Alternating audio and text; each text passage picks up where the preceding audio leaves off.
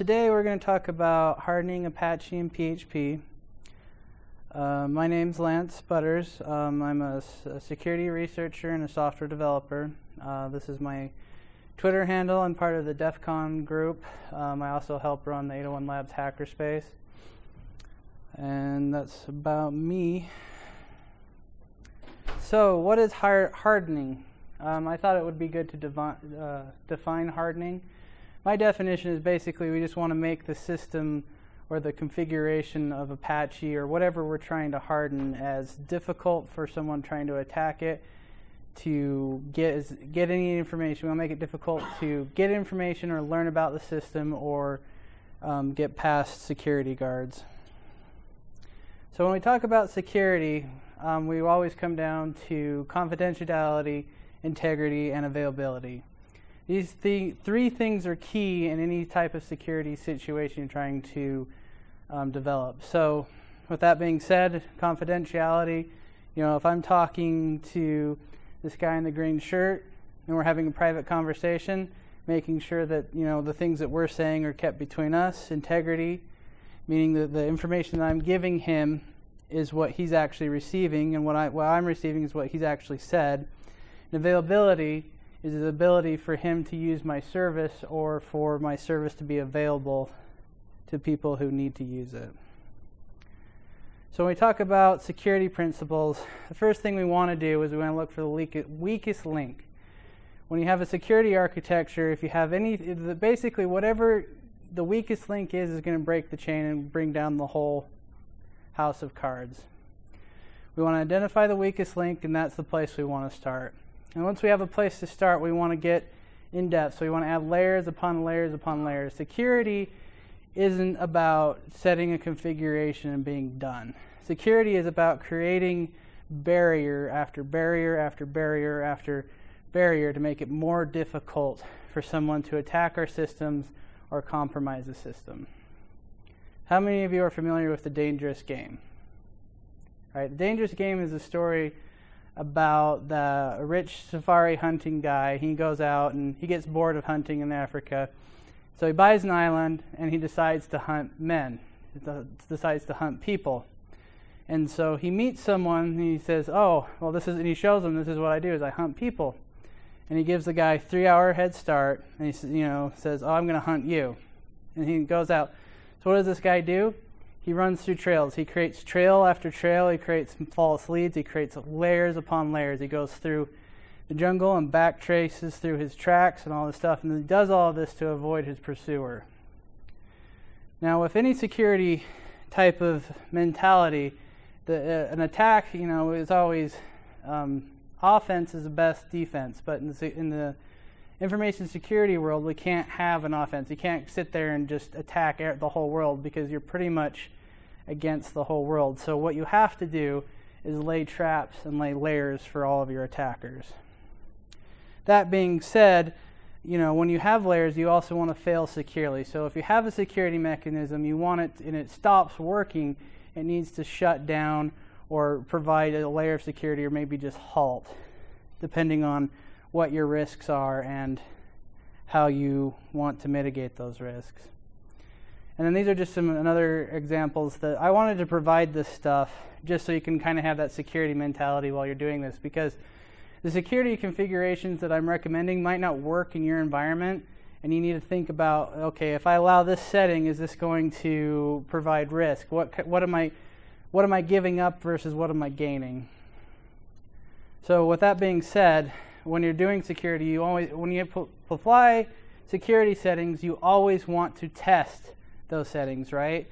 So if we make a change, we want to test that the change that we made actually provided some change or is actually working, right? Because if you have like a web, web application firewall or you have something in place and it's not working correctly, it's not really providing security.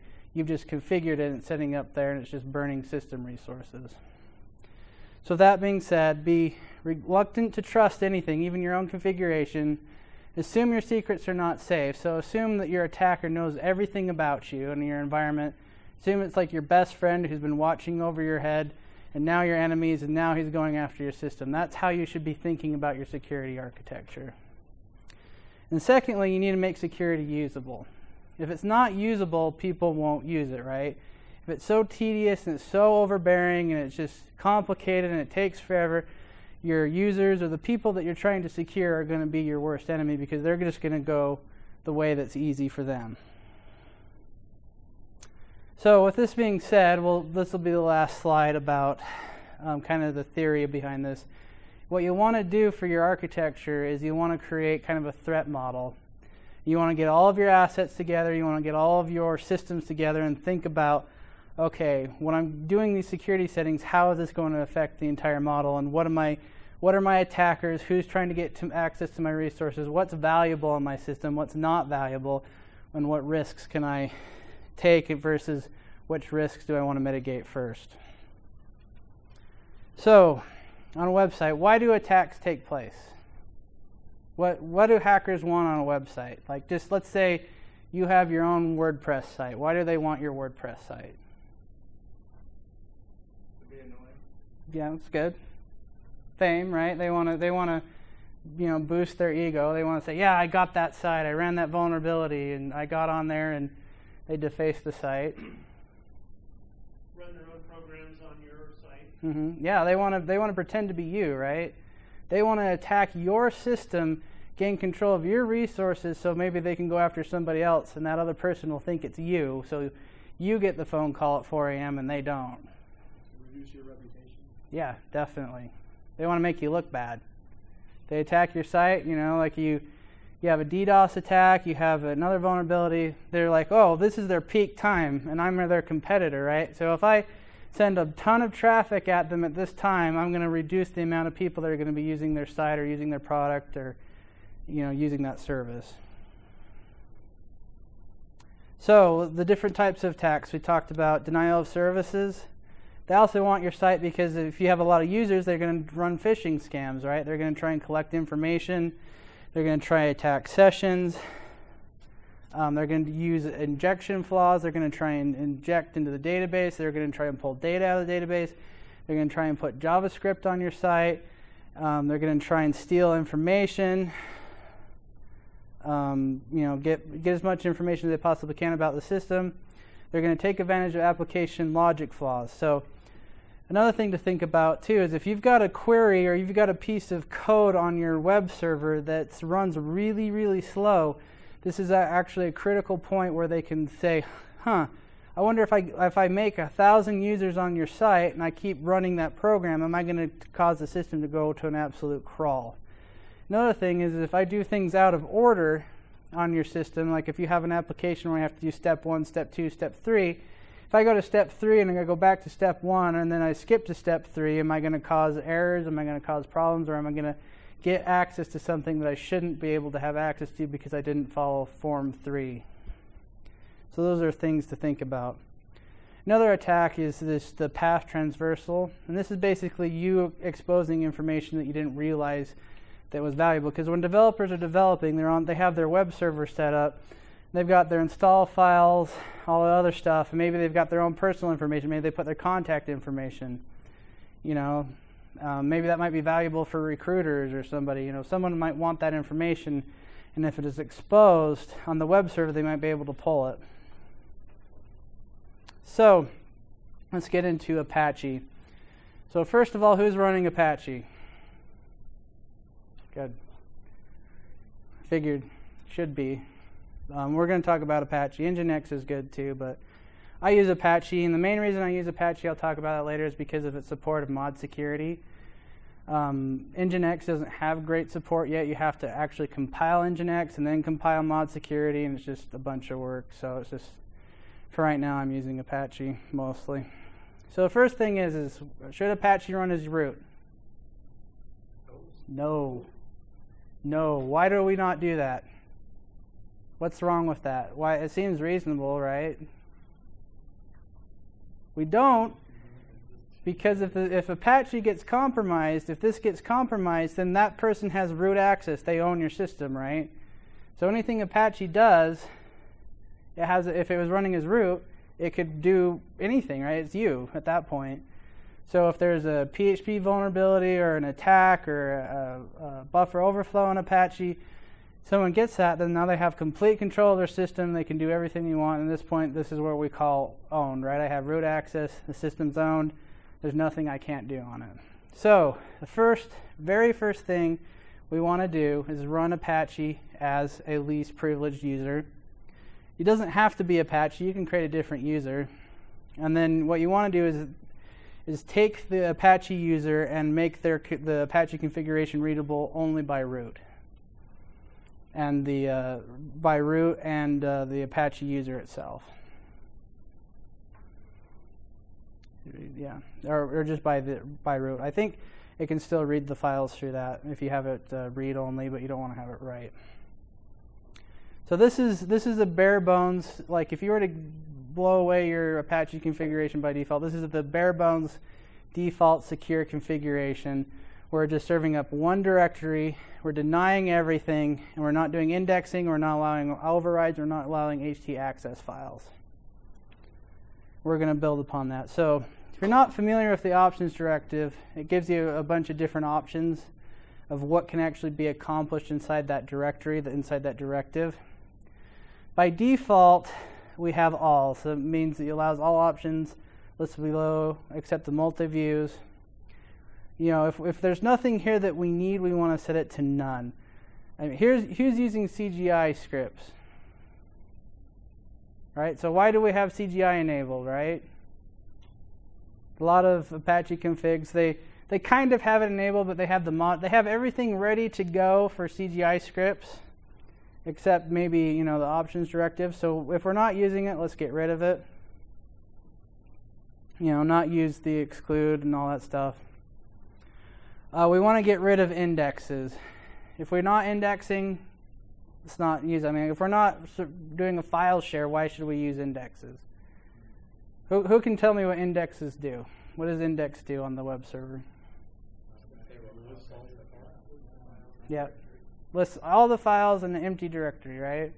So if you have an image folder, it'll list all of your image folders, all of your image files in that folder. So we want to turn this off. Why, why do we care if someone can see all of our images, right? What's wrong with that?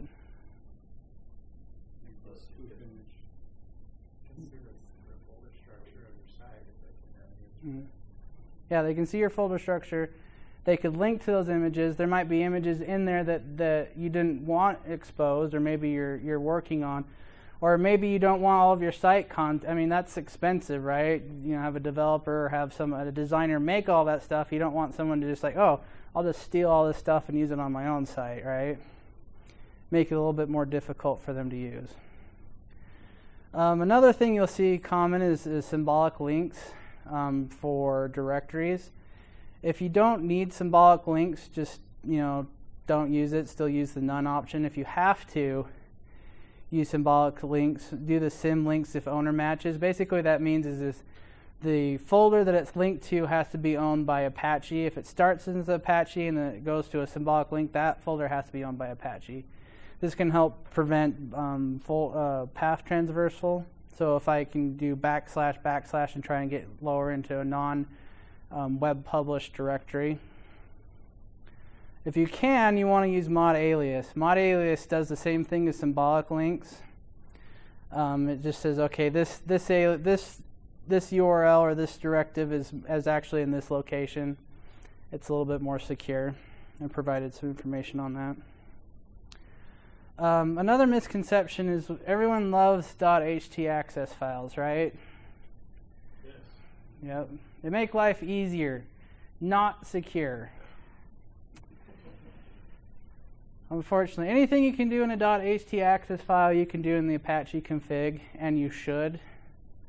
Um, the only time you should really be using .htaccess files is when you have a shared system or a distributed system and you you know you don't want to manage their configuration which if you're running a really secure server you don't want to run multiple resources on the same system um, we, you know it comes back to our security philosophy if we have two critical items the best thing is not to put them in the same basket because we don't want them a compromise of one to affect the compromise of ever, uh, the other especially if they have no interlinking connections themselves so with that being said, you know, you want to, if you have .htaccess files, they actually do cost system resources, having it turned on on that directory.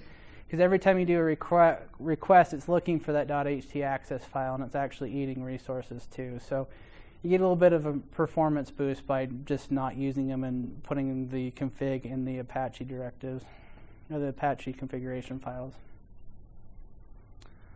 Um, so the allow override directive basically affects just all the htaccess stuff, um, and it controls what you can do and what you can't do with the htaccess files. Again, like I said, if you're using them, um, try not to. So that goes over the kind of the basic configuration. So now what we're going to talk about is the information leakage. So what we're going to do is we're going to turn off all of the identifiers to identify all of the things that um, show that our, our web server is running on a Linux. This is from Apache config. There's still system parameters that you need to configure to do that, but that's a whole nother talk. So what we're doing is we're turning off sig uh, server signatures, so we're not going to tell people what version of Apache we're using. We're going to do production only. We're going to set the server name to the um, actual um, name of the site. We're going to turn trace off. Who here knows what trace does? Okay, trace is actually part of the HTTP protocol. And what it does is if I send you a trace HTTP request, you will the trace will actually send me back the request so I can see you know this is the request the web server received and this is the one that I sent so I can compare differences. So if there's a load balancer, if there's something in the way, I can see how it's being changed and affected by the web server. So that's a debugging feature. It's on by default on Apache, so it's something you want to turn off. You want to set your server admin configuration to an email address, you can just have it go to a black hole. But making this change kind of tells something to someone kind of fingerprinting or looking at your system. It shows that this person has actually spent the time to care about setting these configuration options. So they probably have more options that they're setting and probably taking a look at their server. So it makes the person that would be thinking about attacking the system a little wary and a little harder to identify what the system actually is. So we're talking about HTTP headers. Um, and the yellow is my request, and then the green is the response. So this is without those settings. As you can see, um, the date setting kind of gives the system away, but here it says Apache version 2.215 CentOS last modified. And so that's giving away my operating system and my Apache version. Two things that I just you don't want to tell attackers or tell someone who might be doing malicious things to your system. Uh, additionally, um, you want to reject certain file types. So if you're not serving a certain type of file type, you want to configure um, a rejection on it. So like your Git files, especially your SVN files, you don't want someone downloading all your source code for on the back-end server and reading it, right? So you want to make sure that you're not exposing, you know, .svn, .git, um, you don't want to serve. You don't want people being able to download HT files. Basically, any if you're not serving it, you should probably put a file restriction on it, just as a fail-safe, so that those files don't leave your system. Uh, then you want to remove default content. Uh, CentOS by default has a welcome page. The first thing you should do on a new setup is just turn it off. So go into the configuration and comment everything out and turn it off. So with the basic um, Apache configuration, you can't change the header return to not beyond Apache without modifying the source code. So I personally don't think it's a great idea to compile Apache from source. I mean, it's something you can do securely if you spend the time doing it, but I'm, I'm sure a lot of people just, that's time better spent elsewhere. So one thing you can do with uh, mod security, and we'll talk about installing mod security, which is a web application firewall, is you can change that header information to whatever you want. So we can say, oh, tell them that I'm Microsoft IIS 5.0, right? Let them let them think that.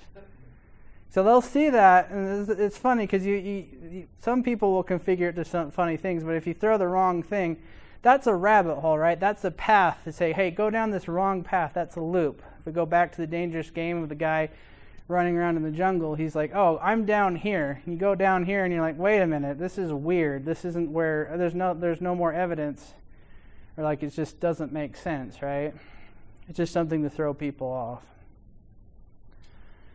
Another thing you need to do um, is go through your Apache modules. So this, I went through this a little bit myself because I was like, oh, I'm going to go read all them all, and then I got really bored really fast. So on your on your production systems, you need to go through, and this is another thing you need to test. Is you go through. I've listed the, this link here has uh, all the Apache modules, and you need to go through and decide. Okay, do I actually am I using this Apache module? Because it's nothing to just comment out, and if you need it, you can comment it back in, right, and restart the service. But removing um, these modules, like we said, CGI bin. Why do I need CGI bin? It's just I'm loading it, I'm taking up memory, it's there, it's an attack vector you know, we had the shell shock vulnerability come out. There's no reason to, you know, no one's really using CGI, so let's just get rid of it. If you're not using WebDAV, you don't have SVN on the same server that you're running um, your code on, turn WebDAV off. Not using LDAP, turn it off. Let's, let's, let's reduce the attack vector by reducing the amount of code we're executing and the amount of code that we have on our system. So I'm going to talk a little bit about chrooting. Chrooting was kind of the old, the old Wild West way of securing um, processes. Basically, what chrooting would be, it would give the user or the process this view of isolation that, like, oh, you only have access to these files. You're in this directory. You don't have the full operating system. And to accomplish this, what you do is you use the LDD command, which is the linker, and it identifies all of the, the programs and all the libraries that this process is using. So you can call, so here I'm calling LDD on bash because I'm going to put bash in its own um, directory. So I look, I get all the, the libraries there. Then I make a chrooted directory. I copy all the libraries over, and I then I copy um, bash over.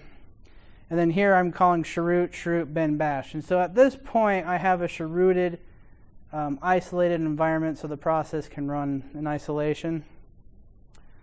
Um, now, if you do this, you get all the libraries and you still have errors. There's really, it's really difficult to troubleshoot, so you can use strace um, to troubleshoot chrooting, a chrooted um, environment.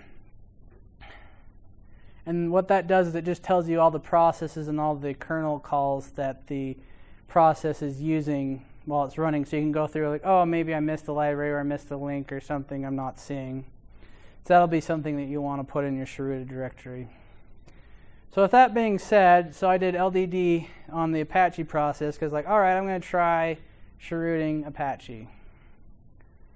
Just because it seemed like fun at the time, right? Well, I started doing that. It was a huge pain. I was like, well, is this even secure? I started thinking about because this is because when I was growing up, this I always heard, oh, you got to chroot. If you want it secure, it has to be chrooted. Well, chroot wasn't made to be a security mechanism. It was meant to just have process isolation. So if you had a process that you want to separate it from everything else and you want to have it isolated, that's what chroot was and someone saw, oh, this chrooting method's awesome because if someone gets into the process, they only have access to these files, and because they're not the root user, they shouldn't be able to get to other processes, right? Well, there's actually some way workarounds on that, and chrooting is actually considered not secure anymore, and probably not um, a good security practice anymore. What people recommend is that you, you just basically you configure security Linux correctly which I did a, I did a lot of Google searching for that because I've, I've run security Linux and I you know you always hit that point where you just oh I just got to disable it because I got I just have to have this thing to work. So I, I've provided some links here, but it's worth it to go through the pain of learning how to get security Linux working correctly. If you think about it, com- that compared to chrooting, SE Linux is a little bit more secure. And from my understanding that the GR security is actually better than SE Linux, I haven't used GR security. i am looking into it, so it's another thing to think about.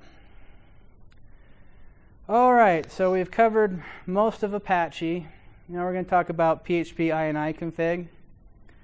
Um, this is for PHP uh, 5, and these are all. This is basically all of the security settings that you want in your INI file. Um, safe mode basically is just kind of like the uh, the symlink thing, where it says, okay, this this process this file is owned by Apache, and I'm running Apache, and so it needs to match. You know, the users need to match Apache and the PHP file need to match. Same with the group. fopen, allow URL fopen. Who's familiar with this?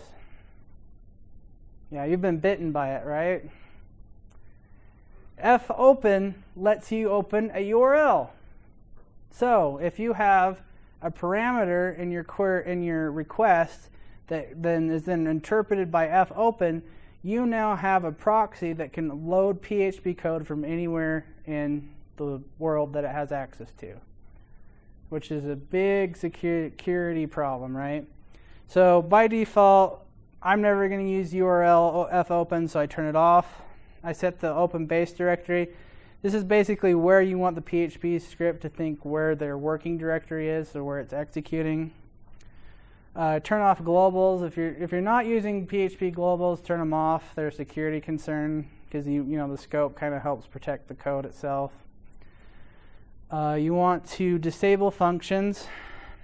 Um, basically, there are a ton of PHP functions that are just big security holes.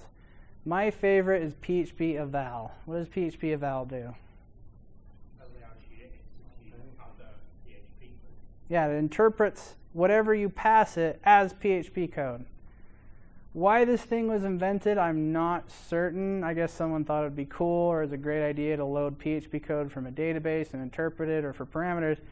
The problem is, is PHP eval, if you have parameters coming in from the user space and then it gets interpreted by eval, there's a possibility that the user can manipulate the input where they can get the PHP code running.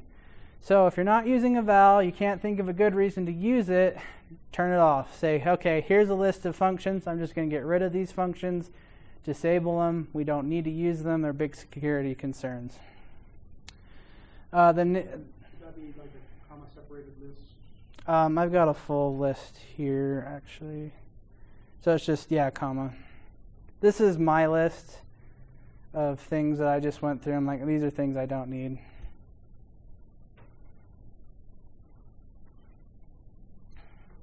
Any other questions? Sorry. Okay. Um, so enable DL is dynamic um, loading of modules. Just turn it off um, because it can be taken advantage of. Uh, file uploads. So are you doing, who here does file uploads? Okay. So if you need the functionality, turn it on, right? If you don't need the functionality, why, why bother, right? File uploads are a good place for me as an attacker because as soon as I find a vulnerability on your system, I'm going to go look for a file upload because I'm going to want my web. that's how I'm going to get my web shell on your system. I have a question on that. Mm -hmm. If you're not uploading it into the file system, but you're uploading it into the database, since that's still.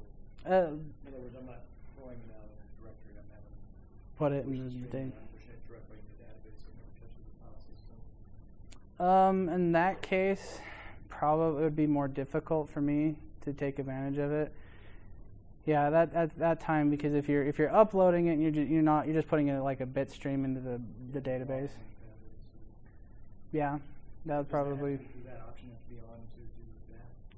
Um, yeah, to do any type of file uploading, to have the, the PHP interpret the file upload parameters from the HTTP request, you have to have file uploading on. Now that with that being said, if you have to have file uploads, you want to set, you know, you want to set the temp directory.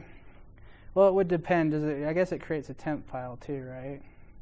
Does the temp file get wiped? I'm converting going to PHP from Perl, so I'm mm -hmm. not sure. Okay.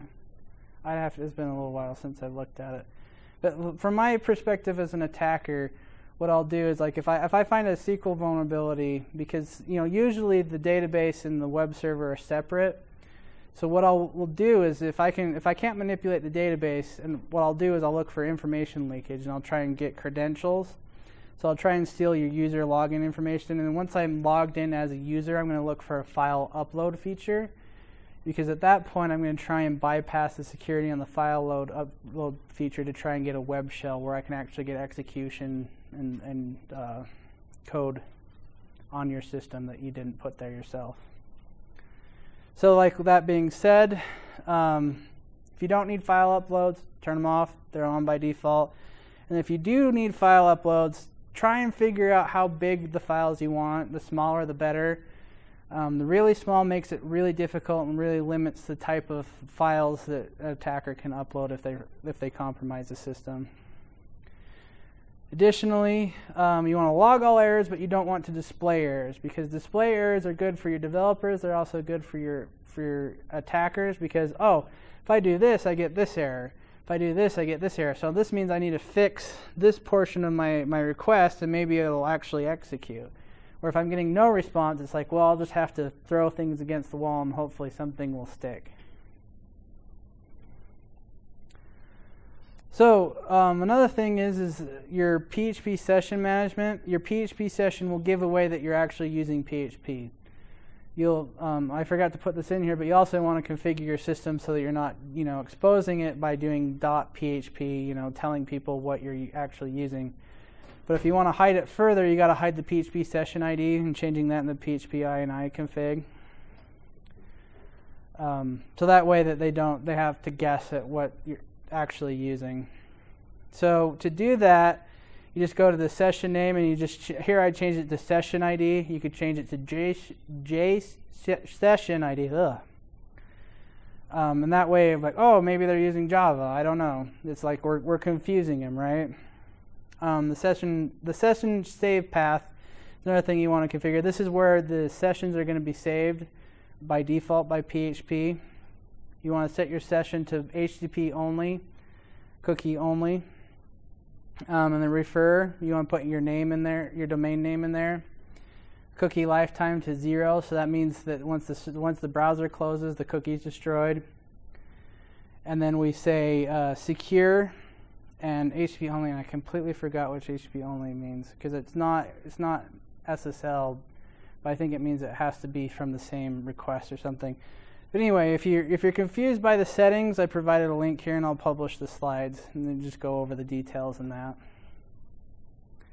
So then we have our these are my list of dangerous functions. and we have execute a um, bunch of postfix, uh, stuff to do operating system stuff, PHP info. PHP info is a big information leakage. You look at it once and you're done with it. Why leave it on? Just turn it off. All right, so we have our PHP configuration. We have our HTTP configuration. So the next thing we want to do is configure SSL. If you've never configured an, uh, an SSL certificate, these are kind of all the things you need to do. I provided a link. I'm not going to go over this in detail because there's a lot of good guides out there to how to do your self-signing cert and how to do a um, cert request and send it to your CA. And this isn't a talk about uh, PKI. But one common mistake I see a lot is people leave their their private key world readable. Why is this bad? Well, what what can I do if your private key is world readable?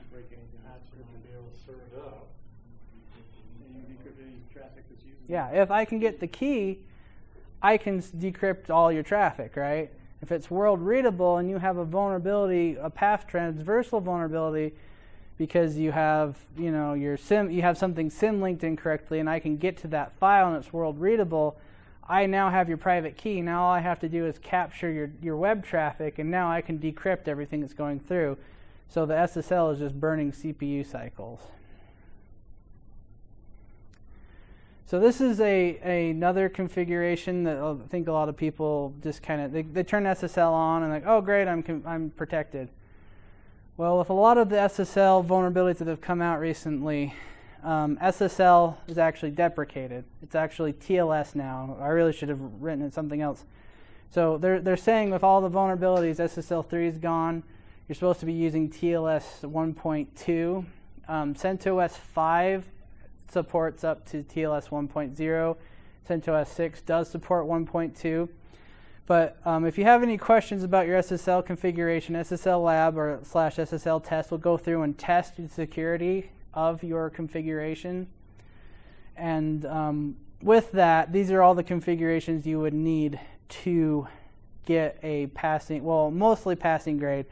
So I have RC4 in red, you need that if you want to support Internet Explorer 6. Yay, Internet Explorer, Internet Explorer 6. If you don't care, get rid of it. you get a passing grade. And so what we're doing here is we are honoring the cipher order. So what this does is when SSL starts up, they go, oh, do you support the cipher? Yeah, I support it. Here, let's use that. What this does is the, the server says, hey, do you support this? This is the most secure cipher, or this is the one I want to use first. And the client says no. Then it keeps going down the list until it finds the best cipher that it can use. And the cipher is just basically what um, what it uses to encrypt the data between the the public key information. And if you're like if you're curious about how this stuff works, there's plenty of information online. But with that being said, so with the SSL protocol, I'm setting all. So I'm enabling all and I'm turning off SSL version 2 and SSL version 3. Um, if you want to get more secure, you can say TLS 1.2 with the same way, and just add a plus sign like you have with your SSL version 3 that will, and then you just say that's all I support. That's the most secure version. Um, I think there's issues with TLS 1.0. Um, I've heard, I haven't looked into them. Then, if you want to check your SSL cert yourself, you can use this OpenSSL S client host. This will actually tell you all the security settings on a, a SSL server. Does anybody have questions on this? I think this is this is important, so I want to make sure that you guys understand what I'm saying. We're good? So, with that being said, if you're using SSL and you have SSL um, required content, you want to make sure you we, we go back to failing safe. We want to make sure that this content that we're protecting by SSL, if it gets misconfigured or something goes wrong, or they try and use it through HTTP, that they can't access it through HTTP, they have to use SSL. So we tell it to fail safe. And we tell it to, we put permanent redirects on there. We use rewrites. Here's some examples. Again, these are useful SSL commands um, for checking certificates and other things, just so you have a resource and a reference. All right, so we're going to talk about some fun stuff. So, an attacker, denial of service attacks. Who's familiar with a SYN flood? What is a SYN flood? Basically, it just keeps asking for SYNs and doesn't Mhm. really react. Yep. Come back to the server. So it's like a bunch of, if you have a counter, and let's say you have three people there helping customers, it's like having, and you had 60 people come up and say hello. Say, hey, how can I help you? And then you have another person come up, hey, hello. Oh, hey, I'm helping this other guy. And this other guy comes, hello. They don't say anything else. They just keep having people coming up and talking to that person and interrupting him or having him eat resources. And what that does is it eats up all of the resources that Apache has it has allocated to it, and it grinds the system to a halt and stops traffic from moving. So if you want to simulate, you can use H3 ping or HPing 3 to simulate a SYN flood. You can even spoof the, spoof the address. So because we're sending a SYN packet and the way TCP IP connections work, we can just send this packet and we don't really check the source, and I don't really care about getting the response because I'm just sending you people, I'm sending you requests just so that it eats resources. If you're under a DDoS attack, you can use these IP table configuration um, to kind of limit the amount of SYN requests you're getting. It's not ideal for production, but it can help mitigate the attack.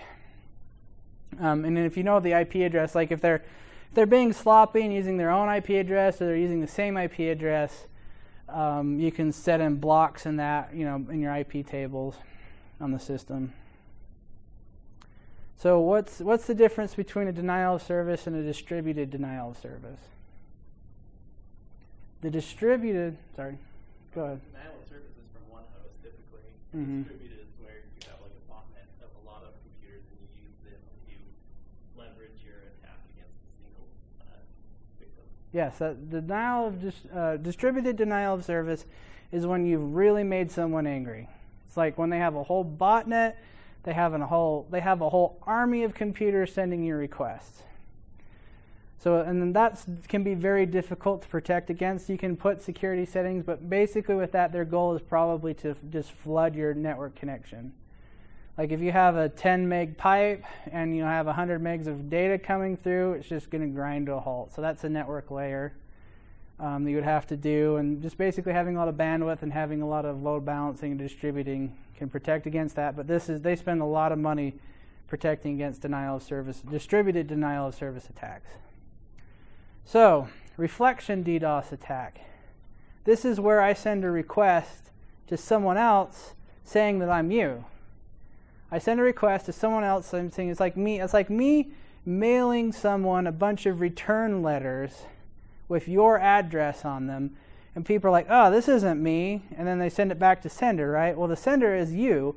So now you're getting all of this mail from all over the world from all kinds of different places towards your server or your mailbox or your service.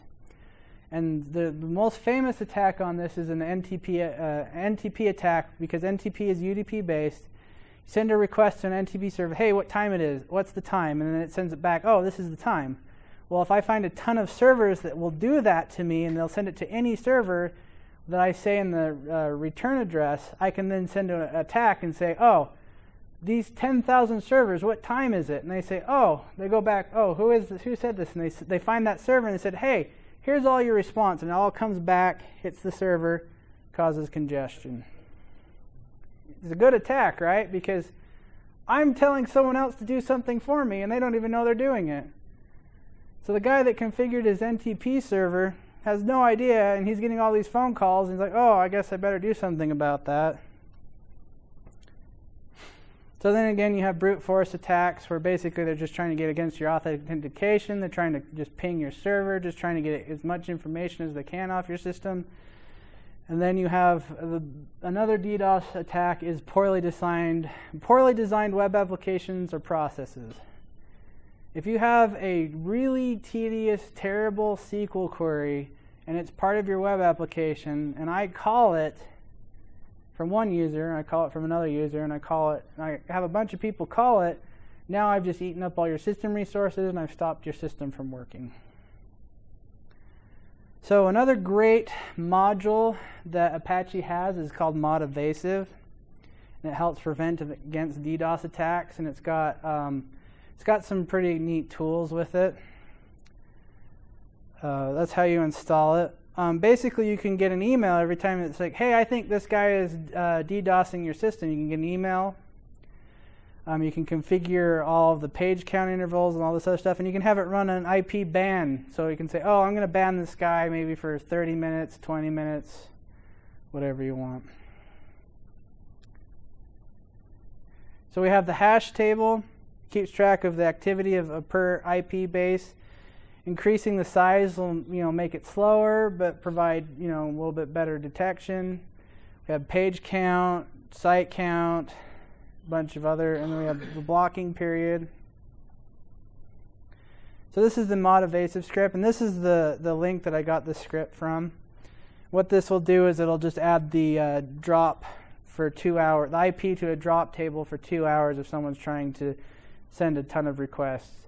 This is also good too if someone's trying to brute force or trying to crawl your website because it's going to slow them down. It's like I can only get small portions of information every two hours. It's going to be a lot harder for me to poke and prod at your configuration in your application.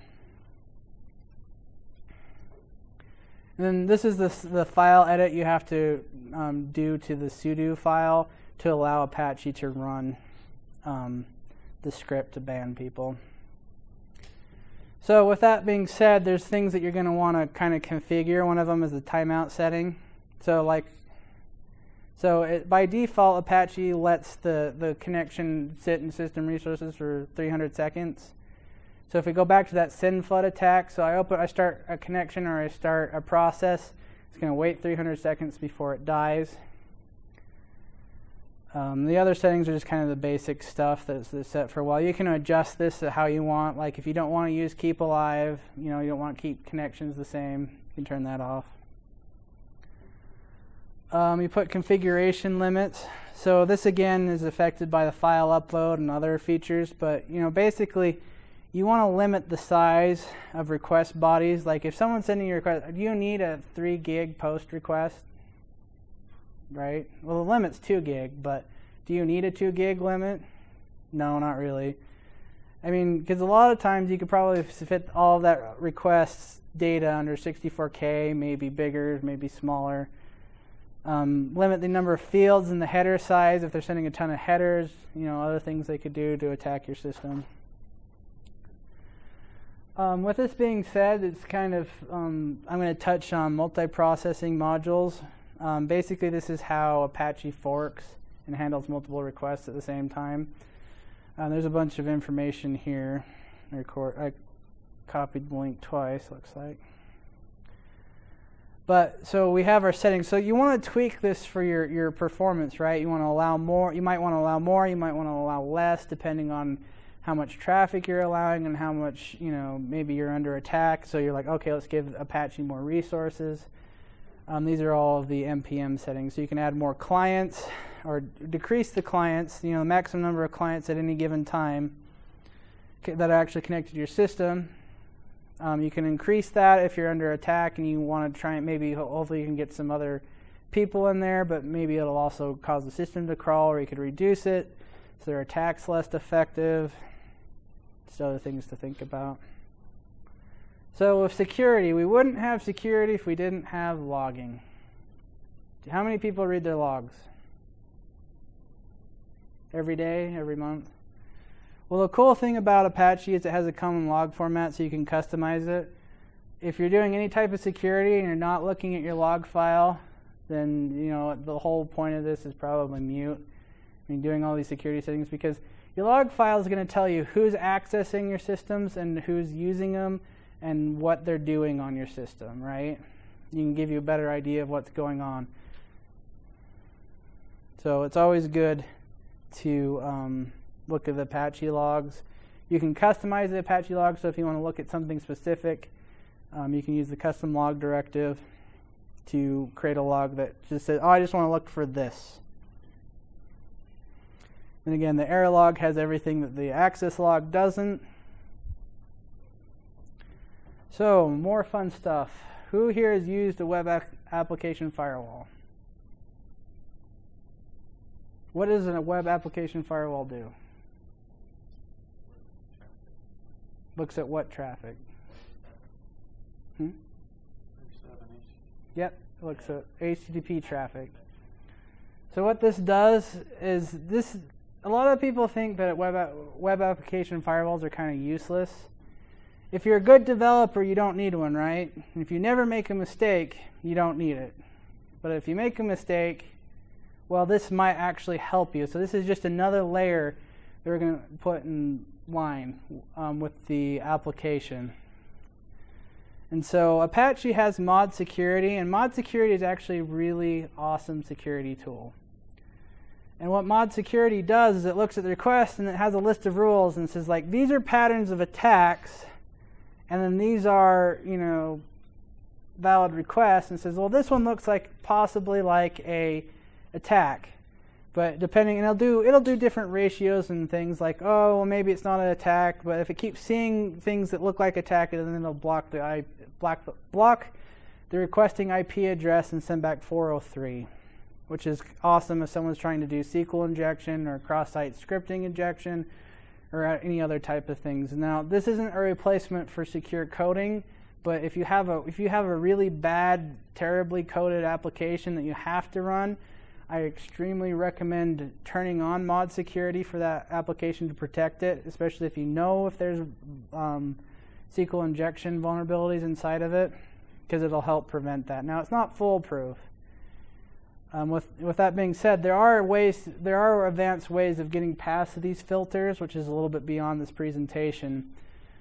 But with that being in place, it's now a lot it's very difficult for an attacker to get past your you know mod security, and they have to put a lot more effort into um, attacking. So anyway, the configurations you just do yum install mod security. You load this mod security module. Make a directory for the security rules. Um, you include that directory. And then you go download the mod security OWASP rules. These rules are free, provided to you by SpiderLabs. They maintain it. They also have premium services, so you can buy premium, more up to date rules. But the base core rule set's pretty good by itself. So if you don't have any protection in place, this is a great tool to use.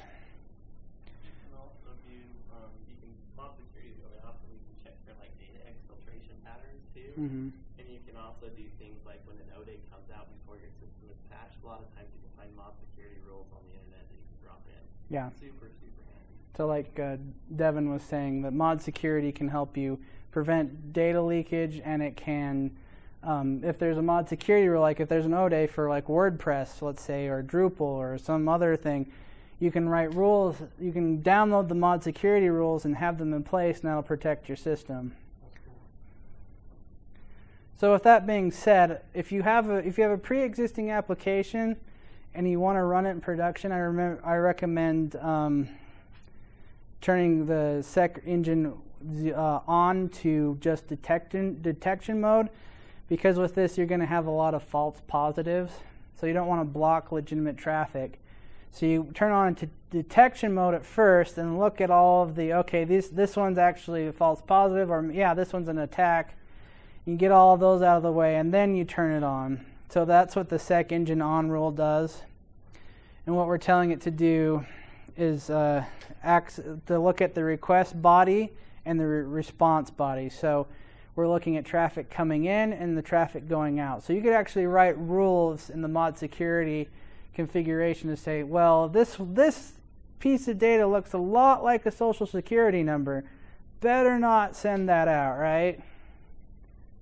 Or this this part looks a lot like credit card data. Maybe I need to flag it and you know make make a warning file about that. Access body. You can also check MIME type stuff like that.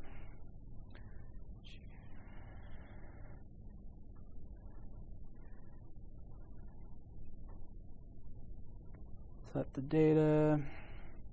So we talked about the sec rule engine. So we put it in detection only at first before you start running it. So we'll have some fun. Who can tell me what this code does?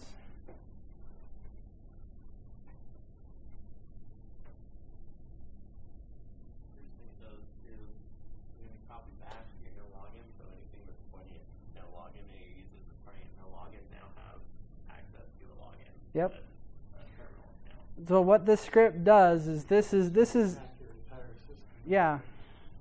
The, this these lines of code completely destroy all of your security on your system. So all that work we've done yep.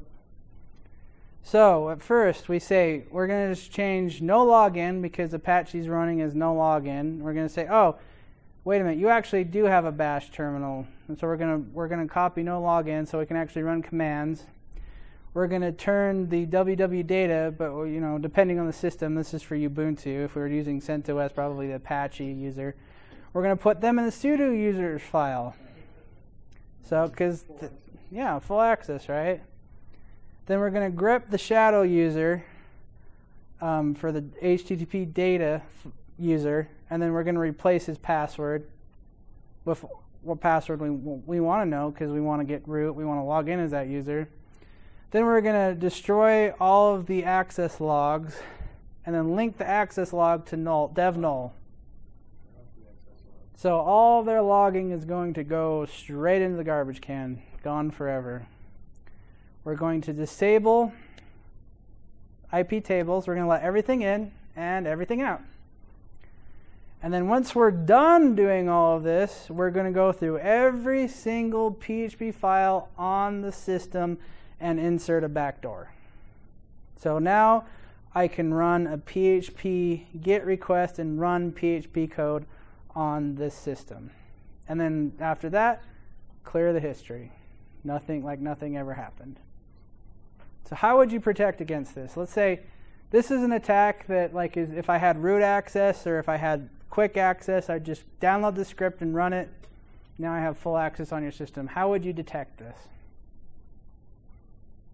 How would you know all of your code just had a backdoor inserted into it? Yes. File system integrity monitoring. How many people run how many people have a file check on all their PHP code they're running on their server? So at that point, I mean, how? So let's say you had a compromise like this. How would you know which files were compromised? How did you? How would you know the code that's running versus the code that you had originally? What what would be the difference? Well, the tool that that's free and easy to use, and it's it's kind of a dumb solution, but I always recommend doing this. Is there's a program called AIDE, and what AIDE will do is it'll go through the entire operating system and create an MD5 hash of all the files and create an, a, a database.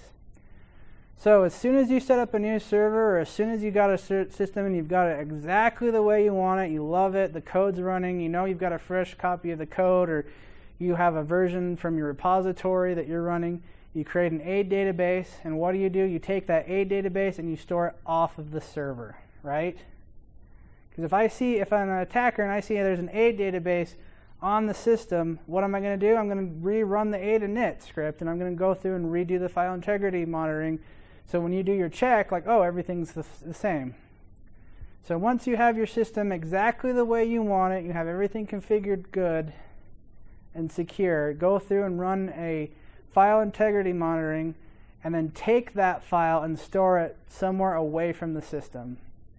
This is the, one of the best security features you can do for yourself because when you have a compromise, you can run, you can upload that AIDE database and run this check, and you can say, oh, all these files are compromised, I better replace them. Or, oh, the operating system is just completely hosed. Maybe I should just, you know, pull the good configs, the ones that I know are configured, like, oh, it used to be this and now it's this you know, you can see what they changed and see what they've done to your system, and you can have a better view of how bad the damage was. If you had event, if you didn't have the file integrity monitoring, what you know, what would you do if your system got compromised? Like, if someone snuck a backdoor in one of your files, how would you find it? You'd have to go through every single file and check, right? Sometimes they're dumb enough they don't set dates back or anything, so you yeah. can see which files have changed that date. Mm-hmm. It's it's still a lot of checking, right? Like if they changed the date, then you wouldn't have much to go on. Everything's changed this month. It shouldn't have changed. Yeah. We have we have a Git repository, so we would be mm-hmm. against the repository.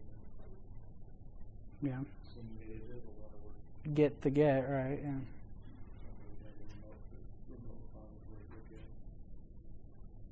So is this when you every time you do an update to any of your code, you have to rerun the Yeah, AIDE's not super intelligent and it's kind of a really archaic tool. There's other tools, but they're just a lot more complex. They're they're more complex, yeah.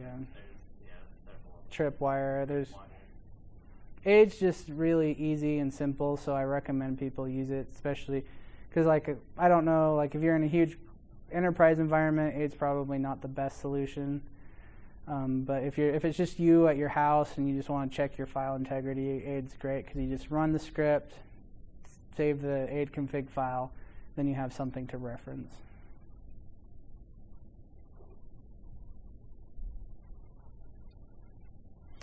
All right. Um, so this is a lot of the story, a lot of this data that I've gotten from this presentation came from this Feisty Duck book. It's a little bit out of date, but it's got a lot of good information in it it was kind of my inspiration for this presentation. There's a bunch of other links for my sources. And that is it. Thank you.